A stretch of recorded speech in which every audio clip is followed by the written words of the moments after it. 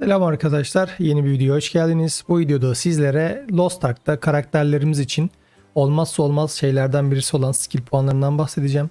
Öyleyse hadi şimdi videomuza geçelim. Şimdi herkesin bildiği gibi K'ya bastığımızda skill puanı kısmı bu şekilde açılıyor biliyorsunuz. Ee, yani skilllerimizi skill bar'a koymakla tabii ki bu skillleri e, her ne kadar kullanmış olsak da e, bunlara e, belli puanlar vermemiz gerekiyor. Skill puanları gerçekten karakter için bu açıdan çok önemli. Yani şu kısım tripod dediğimiz kısımları bu skill'lerde açarsak örnek veriyorum şu anda ekranda gördüğünüz gibi e, bunu açtığın zaman orta barımın daha hızlı dolmasını sağlıyor. Bunu açtığım zaman daha hızlı kullanmamı sağlıyor skill'i. E, şu bölümü açtığım zaman daha az mana yemesini sağlıyor. Yani bunlar e, bu skill'i çok daha verimli kullanabilmemizi sağlıyor. E bunlar için de tabi bize şurada gördüğünüz gibi e, skill puanı lazım. Peki bu skill puanlarını nasıl kasıyoruz? Aslında bu videonun e, amacı da bu zaten. Yani skill'lerden bahsetmeyeceğim size. Skill'leri nasıl kasacağız? Hızlı bir şekilde onlardan bahsedeceğim. Öyleyse şimdi hadi o kısma geçelim. Hiç bilmeyen arkadaşlar için bahsetmem gerekirse oyunda şu guide kısmında bir kodeks bölümü var. Bu kodekste aslında birçok şeyinize bakabilirsiniz ama mesela skill puanlarınızın da hangisinin eksik olup hangisinin olmadığına bakmak istiyorsanız buraya skill yazarak skill point potion kısmını açabilirsiniz. Açtığınızda da gördüğünüz gibi tamamladıklarınızda tikler, tamamlamadıklarınızda e, tik yok. Yani buradan hangileri sizde eksik bakabilirsiniz. E, bu kısmı kullanmayı ihmal etmeyin. Codex gerçekten oyunda size baya yardımcı olacaktır. Konumuz skill puanları olduğu için dediğim gibi buraya skill point potion yazarak hangilerini tamamladığınızı, hangilerini tamamlamadığınızı buradan görebilirsiniz. E, ben de zaten şimdi size hangilerini e, tamamlayacaksınız, hangileri sizde olmayacak vesaire onlardan bahsedeceğim. Şimdi gelin konumuza geri dönelim.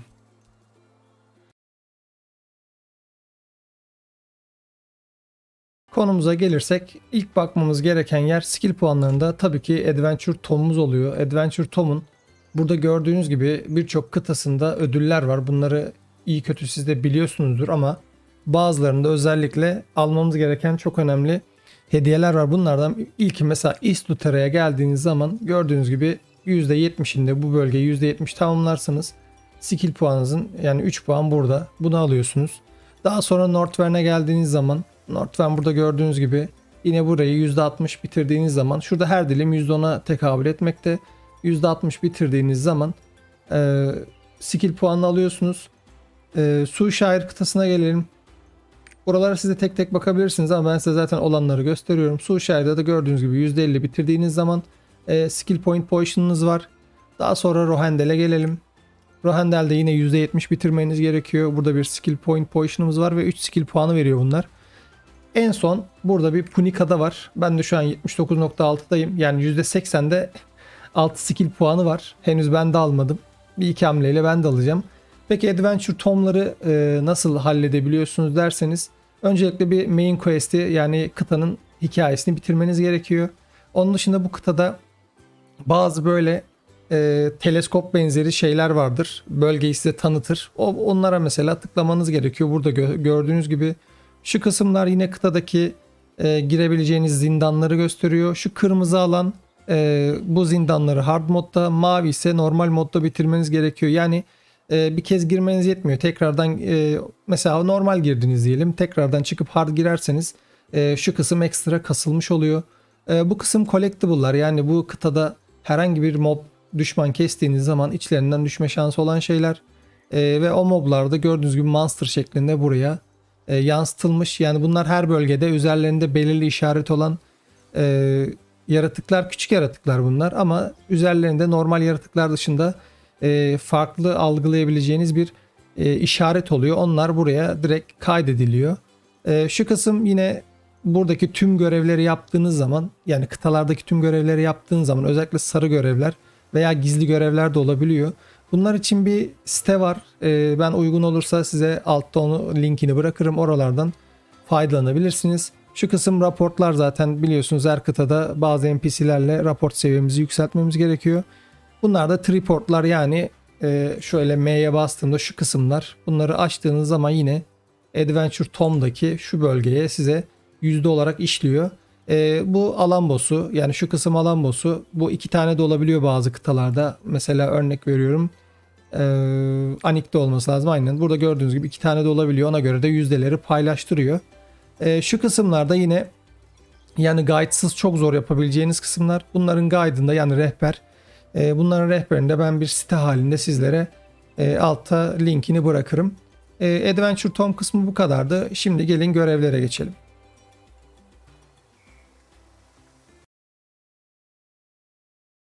İlk görevimiz yani ilk görevimizde alacağımız skill puanımız burada gördüğünüz gibi East Luthera'da Luthera Kalesi'nde Tyraine'den alıyorsunuz. E, Tyraine'de bu normal e, siz kasarken ekstra bir görev açılacak. Tyraine'de bu mor görevi yapmayı unutmayın. Gördüğünüz gibi mor görevin sonunda skill point position'ınızı veriyor. Ya bu görevleri tabii ki 5 e, seriden oluşuyor. Bu 5 seride yapmanız gerekiyor bunu alabilmek için. Ama her seride de yine güzel ödüller var. E, bu 5 seriyi tamamladığınız zaman skill point position'ı gördüğünüz gibi şu Memories of Luthera görevinden ilkini alabiliyorsunuz. Şimdi ikincisine geçelim. Evet arkadaşlar ikinci skill puanını veren görevimiz M'ye basalım. Anikka'da Port City Changun'da şu an benim bulunduğum bölgede bir adet e, NPC oluyor. Şu an ben yaptığım için görevi görünmüyor ama size görevin başlangıcını şurada göstereyim. Şu Wondrous Find isimli görev zaten zincir görevi üzerinde göreceksiniz. Ee, ilk NPC'niz burada oluyor. Şimdi ikinci NPC'nin yerini göstereyim. O da Suspicious Souvenir isimli görevi veriyor size. Hemen onu göstereyim ben size. Evet Anik'teki e, görevin devamında olan diğer NPC Ratan Hill'de. Hemen yine bölgeyi gösteriyorum burada. Şurada gördüğünüz gibi bir e, bölge var. Küçük bir ev var. Onun yanında bir NPC bulunuyor. O da size şurada bahsettiğim Suspicious Souvenir isimli görev veriyor ve bunu yapmanızı istiyor. E, Eggs in the Sky isimli son görevimiz var. Hemen onun da bölgesini göstereyim size. Evet üçüncü NPC'mizin yeri de yine Anik'te. Bu kez Twilight Mist'e geliyorsunuz. Şu alt kısımda gördüğünüz gibi şu ışınlanmayı atlayabilirsiniz. Şu alt kısımda hemen şu bölgede bir NPC alıyor. Bu NPC de size biraz önce bahsettiğim Eggs in the Sky isimli görev veriyor ve bu görevde yaptığınız zaman e, diğer 3 skill puanınıza bu Anik kıtasındaki e, 3 skill puanla bu şekilde elde etmiş oluyorsunuz. E, şimdi Suşehir'deki diğer görevimize geçelim. Diğer görevimiz Suşehir kıtasında şu an beni kovalayan fareleri görüyorsunuz arkadaşlar. Haritayı açtığınız zaman e, ya Frozen Sea'ye geldiğinizde şu bölgeye atlarsınız en yakın. Şu, şuraya geldiğinizde e, bu fareleri kesiyorsunuz. Bu farelerin içinden bir görev item düşüyor. Şu an yine ben bu görevi yaptığım için bende görünmüyor ama e, böyle bir madalyon şeklinde bir görev item düşüyor. Eğer bu envanterinizde bulamazsanız muhtemelen şurada quest items isimli bir kısım var. Buraya da gelebilir. E, buradan onu kullanarak e, kısa bir quest ol, kısa bir görev olması lazım. E, bu farelerin içinden düşürdüğünüzde onu hemen yaparsınız. Yaptığınızda da 3 skill puanınızı alıyorsunuz. E, bu farelerin çıktığı başka yerlerde var buralarda. Şu bölgelerde de olabiliyor. Yani şu kısımda, şu hizada e, bu fareleri bulabilirsiniz ama en çok e, burada oluyor. Yani bir yerde bunları farmlasanız yeterli olur diye düşünüyorum. E, dediğim gibi bunların içinden de madalyona benzer bir e, quest item düşürüyorsunuz. Bu item'daki görevde yaptığınız zaman yine 3 skill puanınızı elde ediyorsunuz. E, Suşehir kıtasındaki görevde bu şekildeydi. Bu kısımda bir araya girmem gerekiyor. Çünkü biliyorsunuz Avrupa serverına biz başladığımız zaman e, oyun bize 2 adet Wern Pass verdi. Yani Wern e, kalesindeki görevleri bitirdiğimiz zaman e, size bir pass veriyor ve siz direkt 50 level yapıyor. Daha önce yine Wern Pass ile ilgili e, benim bir videom vardı. Eğer Wern Pass ile karakterinizi atlattıysanız ki atlattığınızı düşünüyorum. E, şu ana kadar gösterdiğim işte Lutere Kalesi'ndeki görev, Anikka'daki görev ve Suşaya'daki görevleri yapmanız gerekmiyor. Eğer Wernpest'le e, atladıysa karakteriniz level'ı bu görevleri otomatik olarak size yapmış sayıyor. Ama ben yine de e, normal yoldan belki kasmış olan arkadaşlar vardır. E, PES'leri hiç etmiş arkadaşlar var çünkü server değişikliği sebebiyle. E, yine de onlar için bunu göstermiş oldum. Dördüncü skill puanı veren e, görevimiz Serenity Adası'nda. Serenity Adası hemen nerede derseniz şöyle M'ye bastığınız zaman e, East Lutera'nın hemen sağında gördüğünüz gibi Serenity Isle yazıyor. Bu bölgeye girdiğinizde e, giriş burası. Girişten biraz ilerlediğinizde şurada bir parlayan gizli bir görev göreceksiniz. Bu görevi aldığınızda bu map'i açayım ben şimdi oraya kadar gitmekle uğraşmayayım. Hemen şu gösterdiğim yerde bir NPC var. Bu NPC size görev verecek ve bu görev bir yerde sizi artık yönlendirmez bir hale gelecek. Yani nereye gideceğinizi bilmeyeceksiniz. Ee, onu da hemen ben size göstereyim nereye gideceğinizi. Bir tanesi şu yine East Lutera kısmındaki Yudya'da Salant geliyorsunuz. Salant Moray Ruins isimli zindana daha önce girmişsinizdir. Bu zindana tekrar giriyorsunuz ve son boss'unu kesmeniz gerekiyor. Son boss'undan bir parça istiyor size. Ee, Tabi bu görev bu şekilde bitmiyor. Ee, diğer devam eden kısmı Tortok'ta Forest of Giants'a geliyorsunuz. Şurada gördüğünüz gibi bir zindan var. Tortoise Heart diye. Bu zindanın başlangıcında yine e, bazı golemler var. Onları kesmeniz ve en son boss'unu keserek de görevi tamamlamanız gerekiyor. E, buraların e, size bir artık atan yanı ne derseniz eğer buraları daha önce e, level char kastığınızda bir karakterinize normal girdiyseniz hard girin. Hard mod girdiyseniz de normal girerek en azından şuradaki adventure tomunuzdaki şu kısmı tamamlamış olursunuz. Bu da size bir e, artı bilgi olsun. Tekrardan o e, zindanları yaptıktan sonra sizi bu adaya tekrar yollayacak. Yine NPC ile konuşacaksınız. Siz bir buff alıyorsunuz bunun sayesinde. Çünkü görevi tamamlamanız için en son şurada gördüğünüz e, bu devi kesmeniz gerekiyor. Gördüğünüz gibi ben ona vurduğum zaman e, no effect diyor. Yani benim normalde çok düşük e, eye level'ında olmasına rağmen işte bu görevin devamında bir buff veriyor size ve bu devi kesebiliyorsunuz. Bu devi kestikten sonra da göreviniz artık bitmiş oluyor ve skill puanını alıyorsunuz. E, bu görevimiz de böyleydi. Şimdi diğer görevimize geçebiliriz. Evet arkadaşlar 5. görevimiz Rohendel kıtasındaki Rotun'da yani ana merkezde. Bu e, Rotun görevlerini komple bitirdiğiniz zaman e, şu mail yani Mail Carrier Santos isimli NPC'de bir mor görev çıkıyor. Bu mor görevi aldığınız zaman bu ayrıca sizin e, ikinci uyanış göreviniz yani Second Awakened göreviniz. E, şu Awake skilliniz var biliyorsunuzdur. Onun ikincisini yapmanız için size görev veren NPC budur. Aynı zamanda bu Awake görevlerini yani uyanış görevlerini bitirdiğiniz zaman da size yine bir skill puanı vermektedir. E, yani görev alımı da bitirişi basit değildir ama alımı basittir dediğim gibi Rotun'un e, bu Rohendel kıtasının tüm ana hikayesini bitirmeniz gerekiyor. Daha sonra da bu NPC'den görevi almanız gerekiyor. Şimdi Rohendel kıtasındaki diğer göreve geçelim. Bir diğer görevimiz yine Rohendel kıtasında ancak bu görevi yapmak için e, bayağı bir şart gerekiyor. E, bu görev aslında şu return trip görevi arkadaşlar. Bu görevi yapmanız gerekiyor bu skill puanı almanız için.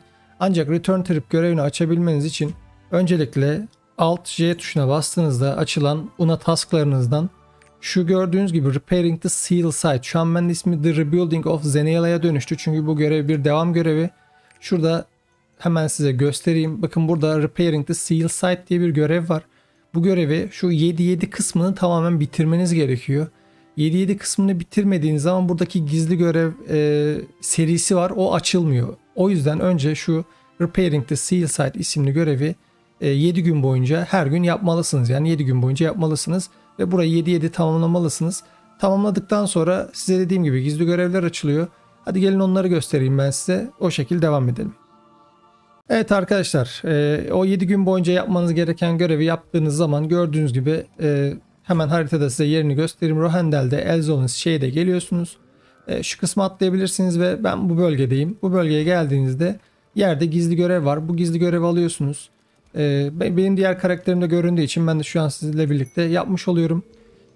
The Book of Time diye bir görev veriyor. F5'e bastığınızda bunu okuyorsunuz. Bunu okuduktan sonra da e, yani şunu yine tekrar okumanız gerekiyor ancak burada kullanamazsınız diyor. Bunun bir bölgesi var. Onu hemen ben size göstereyim. Şuraya atlıyorsunuz. Birlikte gidelim o bölgeye. Şuradan hemen atlayacağız. Zaten size bölgeyi gösteriyor. Bakın şurada parlıyor zaten gizli görev olmalarının sebebi bu maalesef. Bu bölgeye geldiğiniz zaman bunu yine F5 vasıtasıyla böyle okuyabiliyorsunuz. Evet bu görev bu şekil bitmiş oluyor. Tabii ki bu görev bu bittiği zaman bunun devamı var. Şimdi devam kısmına geçeceğim. Evet arkadaşlar gizli görevin devamında yine haritada göstereyim. Rohendel'de Brisson Bray'e geliyorsunuz ve şu alt kısma geliyorsunuz. Bu alt kısımda şurada golemler var gördüğünüz. Bu golemleri kestiğiniz zaman içlerinden yine e, quest item'ı düşürmeniz gerekiyor. E, bu quest item'ı yine envanterinize gelebilir. Gelmezse eğer yine şu quest item kısmından bakabilirsiniz. Böyle bir dışkıya benzer bir yapısı var. Onu ekrana getiririm resmini bulursam eğer. E, o görevi kabul ettiğiniz e, zaman e, yine yanılmıyorsam şurada bir yerde bir NPC ile konuşturtuyor sizi. E, o görevi de yaptığınız zaman bu gizli görev de bitmiş oluyor. E, basit bir görev ama buradaki golemlerden dediğim gibi bu quest item'ını düşürmeniz gerekiyor. Şimdi diğer gizli göreve geçelim. Evet yine diğer göreve geldim. Diğer görev yine aynı Rohendel, Brisson, Brie bölgesinde biraz önce buradaydık. Şimdi tam şu kısımdayız. Gördüğünüz gibi bu bölgedeyim. Yine gizli görevimiz var.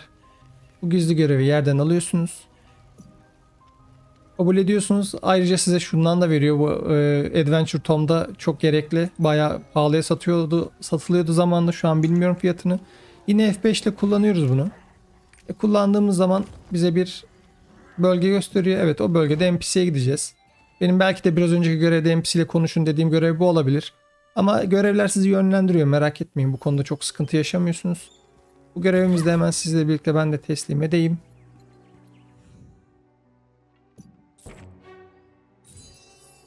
Evet e, bu görevimizi de verdikten sonra şimdi diğer gizli göreve geçelim. Evet diğer gizli görevimize geldik. Bu görevde yine Rohendel'de Lake Shiverway bölgesinde şu alt kısmı atlıyorsunuz. E, Banbury Settlement'a atlayabilirsiniz. Oradan da bu kısım benim olduğum yeri görüyorsunuz. Buraya geldiğinizde şuradaki kitaplıkta gizli görevinizi alıyorsunuz. Bu gizli görevi de birlikte alalım. Yine F5 ile kullanmamı istiyor. Evet kullandıktan sonra şu yerde yatan arkadaşla konuşuyoruz ve daha sonra ileride biriyle konuşmamızı istiyor. Hemen ona da gidelim hızlıca. Bunlar çok kısa görevler. Ancak yapmanız gerekiyor. Ben kimle konuşmam istiyor? Evet hemen şu bölgeye atlayalım. Zaten görevler dediğim gibi sizi yönlendiriyorlar. Yani anlattığım görevler içerisinde bir bu görev sıkıntılı. Ee, bayağı uzun. Ee, en sonunda zindanda bitiyor. Orayı da zaten göstereceğim size. Evet bu görevimizi yapmış olduk. Şimdi diğer gizli görevimize geçelim. Evet bir diğer gizli göreviniz de tam bu bölgede arkadaşlar. Yani Rohendel'de Zenilia Ruins'e geldiğinizde yine benim olduğum kısmı görüyorsunuz. Bu kısımda şu kitaptan alıyor olmanız lazım ama ben belki daha önce yaptığım için bende göstermiyor. Ee, ama bunu yapmış kabul ediyor çünkü e, bu bütün görevleri bitirdiğiniz zaman sizi şimdi bir NPC'ye götüreceğim. O NPC'de sarı görevinizin açık olması gerekiyor. Eğer bunları tüm bunları doğru yaptıysanız e, şimdi o bölgeye geçelim. O bölgede nerede derseniz Rotun'da bakın şuradaki Tower of Tanks isimli sarı görev. Bu görevin sizde de eğer her şeyi doğru yaptıysanız açık olması gerekiyor. Şimdi gidelim birlikte alalım görevi. Evet bölgeye geldim. Şuradan içeri gireceğiz. Bakın bu NPC'den alıyorsunuz Tower of Tanks görevini. Şimdi bu görevi kabul edelim. Bu görevi yapmamız gerekiyor. Basit bir görev yine. Al ver görevi. Evet şimdi bu görevimizde yaptık. Şimdi diğer görevimize geçelim. Gördüğünüz gibi arkadaşlar tüm her şeyi doğru yaptığınız zaman yine Rohendel'de Lake Shiverway kısmında hemen buraya geldiğinizde benim olduğum bölgeye geldiğinizde esas yapmamız gereken görev e, Gerdiye isimli NPC'de e, kendini gösteriyor. Return Trip gördüğünüz gibi bu görevi yapmamız gerekiyor asıl ama bu görevi açmak için de size biraz önce bahsettiğim o gizli görevleri yapmanız gerekiyordu. E, bu görevi aldığınız zaman gördüğünüz gibi skill point position var burada. Görevi kabul edelim. Görev sizi yönlendirmeyecektir ancak e, defeat the Phantom Legion Queen diyor. Yani kısacası yine M'ye bastık. Elzone şeyde gittik. Buradaki Phantom Palace'daki zindanı bitirmeniz gerekiyor. Kısacası bu. Bitirdiğiniz zaman yine tekrar buradaki NPC'ye geliyorsunuz. Görevi teslim ediyorsunuz. E, ve skill puanınızı alıyorsunuz. Görev biraz uzundu. Evet e, bu return trip'i yapmak gerçekten zahmetli. Dediğim gibi başlangıçta Alt-J'deki Una task'ınızda 7 gün Repairing the Seal Site görevini yapmanız ve gizli görevleri açarak en son bu NPC'ye gelmeniz gerekiyor. Umarım anlaşılır olmuştur bu kısımda. Bayağı uzundu çünkü. Şimdi diğer kısımlara geçelim. Evet bir diğer görevimiz de Phaeton'da arkadaşlar. Bu görevi açabilmek için Phaeton e, main quest'ini yani ana hikaye görevlerini komple bitirmeniz gerekiyor. Komple bitirdiğiniz zaman e, Kala bölgesinde şu an benim bulunduğum katedralde e, Kaldor'dan bu mor görevi alıyorsunuz. Those Buried in the Dark Ground isimli bir görev. Hemen göstereyim görevi size. Bakın görev aldığınız zaman skill point potion'u size veriyor. Bu da kısa bir görev diye hatırlıyorum. E, bunu kabul ettiğiniz zaman ben daha önce yaptığım için kabul etmeyeceğim. Bunu aldığınız zaman buradaki NPC'lerle konuşarak e, çok kısa bir şekilde bitiriyorsunuz. E, burada bir görev daha var. Hemen ona geçelim. Oradan devam edelim. Evet arkadaşlar e, Phaeton'daki diğer e, skill puanı veren görevimiz e, yine 4 gün civarı bir sanırım süreye dayalı bir görev. E, ilk gün yapmanız gereken Hemen size göstereyim haritada. Phaeton'da Nameless Valley'e geliyorsunuz. Şu alt kısımda atladığınızda burada bir Market Investigation isimli bir e, görev alacaksınız. Şu Merchant from Vern yazan NPC'den. E, ilk görevi buradan bundan alıp yapıyorsunuz. E, ikinci görevi de Retired Agent Kyle isimli bu NPC'den alıyorsunuz. Bu iki görevi yaptıktan sonra yukarıda bir NPC daha var. E, Kinsera isimli. Hemen onu da göstereyim size. Bu 3 NPC'nin de ilk gün görevini yaptıktan sonra gördüğünüz gibi Kinsera burada oturuyor. Bu 3 e, NPC'nin de ilk gün görevini yaptıktan sonra görev artık devam etmiyor. E, ertesi güne devam ediyor. E, şimdi ertesi gün e, devam etmeniz gereken NPC'lerden devam edelim. İkinci günün görevleri arkadaşlar yine bu Kinsera isimli NPC'den başlıyor. Daha sonra şu an ekrana gelen Lucas isimli NPC'den size gösterdiğim devam ediyor. Ve en sonda e, yine aşağıda ilk gün görevini aldığımız e, NPC olan Kyle'dan yine tekrar görev alarak e, ikinci gün görevlerini de tamamlamış oluyorsunuz. E, şimdi üçüncü gün görevlerini hangi NPC'den alacağınızı göstereyim. Diğer günün görevleri de arkadaşlar o biraz önce size gösterdiğim Kinsera, Lucas ve Kyle e, NPC'leri arasında her gün yenilenen bir zincir görevi haline devam ediyor. Ta ki e, o görevler bitip de en son şurada Kaldor gördüğünüz NPC'de The Last Melody of a Requiem isimli bir mor görev çıkıyor. O görev çıkana kadar size gösterdiğim NPC'lerden her gün yenilenen görevleri yapmanız ve en son bu Kaldor'a gelmeniz gerekiyor. Bunu da yaptığınız zaman yine skill puanınızı almış oluyorsunuz. Evet arkadaşlar görev yaparak e, skill puan alacağımız son kısma geldik. Yani en son kısım olan Punika'dayız. Punika'da Nia Village'de gördüğünüz bölgedeyim. Bu bölgeye geldiğiniz zaman Punika questlerini yani Punika kıtasını komple bitirdiğiniz zaman şuradaki taşın orada bir gizli görev oluyor. Bu gizli görevi aldığınız zaman size bu bölgede yine tam şu bölgelerde görevler veriyor. E, bu görevi yapıyorsunuz. Ertesi gün e, yine şu NPC'de e, ikinci görevi alıyorsunuz. İkinci görevi aldıktan sonra e, yine ertesi gün üçüncü e, gün yani bu görev yine e, 4 gün falan sürüyor tahminimce. Yanlış bilmiyorsam eğer. E, yine bu NPC'lerden görev alıyorsunuz. E, ertesi gün geldiğinizde tekrardan buralarda görev yoksa artık bu gizli göreve giriyor. Bu gizli görevde şimdi size götüreyim. Star Sand Beach'teki tam şu bölgeye atladığınızda tam şu kısımda şimdi oradan devam edelim. Oraya atlayayım ben. Evet bölgeye geldim. Bölge biraz önce gösterdiğim yerdeyim. Hemen şurada gördüğünüz gibi tam şu bölgede şu an masumu görüyorsunuzdur ya da karakterle gideyim.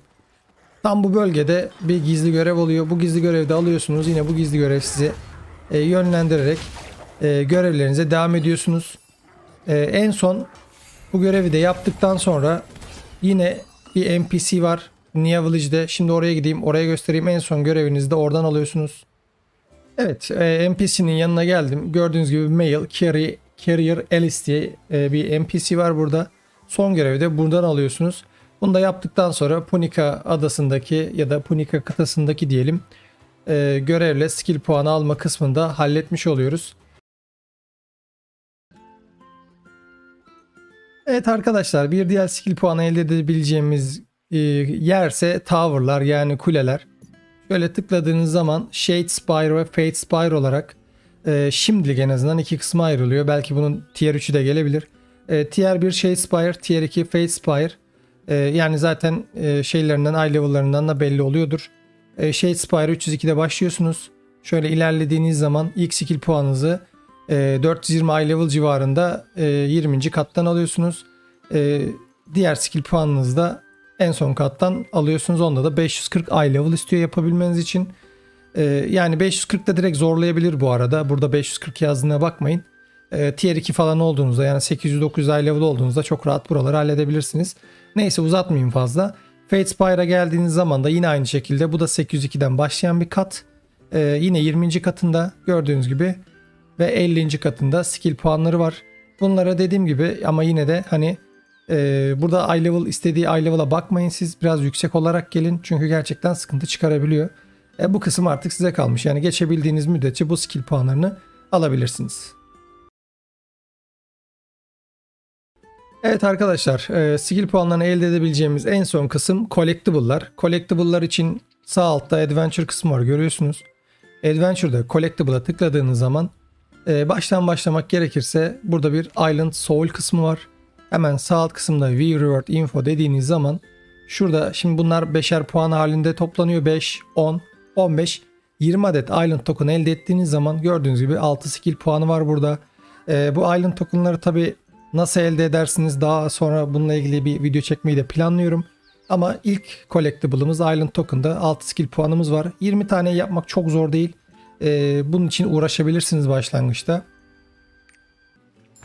Evet hemen yan tarafına geldim. Bir diğer skill puanlarımız da Giant Heart'larda. Gördüğünüz gibi bunlar teker teker gidiyor bu arada. 1, 2, 3, 4 diye gidiyor. 4 tane Giant Heart topladığınız zaman 3 e, skill puanı var. 5, 6 yaptığınız zaman 3 skill puanınız var. Ee, tabii diğerlerinde de yani 10 o yaptığınızda veya 12 yaptığınızda da var ama bunlar çok kolay olmayacaktır. Ama başlangıç için 4 ve 6'yı yapmak e, çok zor değil. Bunlar için yine e, uğraşabilirsiniz. Bunlarla ilgili de yine belki videolar gelebilir. Ama gördüğünüz gibi collectible'larda da gayet e, uygun alabileceğiniz skill puanları mevcut. Evet collectible'larda belki de almanız en zor kısımlardan bir tanesi Omnium Star'lar arkadaşlar. With Reward Info dediğimiz zaman 1300 high level civarına geldiğiniz zaman yani Punika'ya geldiğiniz zaman şu iki tane Omnium Star alarak bu, bunu alabilirsiniz. Ama 6.yı almak çok kolay değil gerçekten çok fazla e, varyasyon lazım çok fazla şey yapmanız gerekiyor. E, bu collectible'larla ilgili daha sonra dediğim gibi video çekerim ama gördüğünüz gibi e, ikinci Omnium Star ve 6. Omnium Star'ı elde ettiğiniz zaman buralarda özellikle 6'şar veriyor gördüğünüz gibi. E, o yüzden de çok kolay değil ama iki taneyi yapabilirsiniz. Bunu e, gönül rahatlığıyla söyleyeyim size. Sadece altıncısı zorlayabilir. E, bir diğer sıkıntılı kısımda Ignea Token. Ignea Token'lar nasıl elde ediliyor dersiniz. E, Ignea Token'lar önce nasıl elde ediliyor şöyle göstereyim. Biraz önce videonun başlangıcında size anlattığım e, bu Adventure Tom'ları %100 getirmeniz gerekiyor. %100'e getirdiğiniz zaman Ignea Token'ları elde ediyorsunuz. E, yani şu an mesela ben o kadar oynamama rağmen bir tanesini tamamlayabildim. Ya istesem hepsini tamamlayabilirim bu arada. Hepsini demeyeyim tabii ki. Belirli kısımları tamamlayabilirim ama bunlar için belirli yatırımlar yapmanız gerekiyor. Kimine gold harcamanız gerekiyor. Kimiyle çok uğraşmanız gerekiyor. Ya bu kısım zamanla olacak bir kısım. O yüzden e, ve çok e, kısa bir bölgede de istemiyor. Yani 3 tane 4 tane de istese belki elde edersiniz ama e, 8 tane de istiyor. Yani 8 tane elde etmek de çok kolay değil ama yine de gördüğünüz gibi 8 tane Ignea Token yaptığınız zaman burada da bir 6 skill puanınız mevcut. Evet arkadaşlar bir dışında bütün skill puanlarını nasıl elde edebileceğinizden bahsettim. O kalan kısımda şu sağ alt köşede yine Adventure'a geliyorsunuz. E, alt J kısa yoluyla da girebilirsiniz. Una tasklarınıza geliyorsunuz.